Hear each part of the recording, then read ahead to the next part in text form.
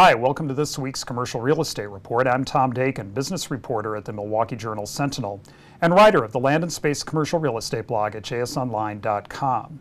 A few years ago, hotel proposals for the area around Milwaukee's Mitchell International Airport were flying fast as rising passenger numbers set new records. Things have since cooled off with the airport posting declining passenger traffic and Frontier Airlines announcing several major service cuts.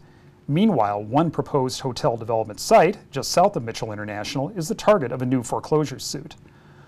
But operators of hotels and other airport area businesses say they're weathering the changes and that being close to Mitchell International remains a big advantage. At the Crowne Plaza, the occupancy rate is flat so far in 2012 compared to the same period from a year earlier.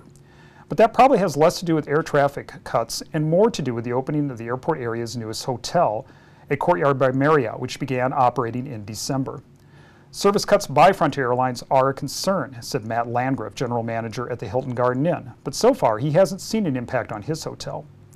The number of passengers boarding planes at Mitchell dropped 5% for the 12 months through February, and departing flights for that period were down 13%.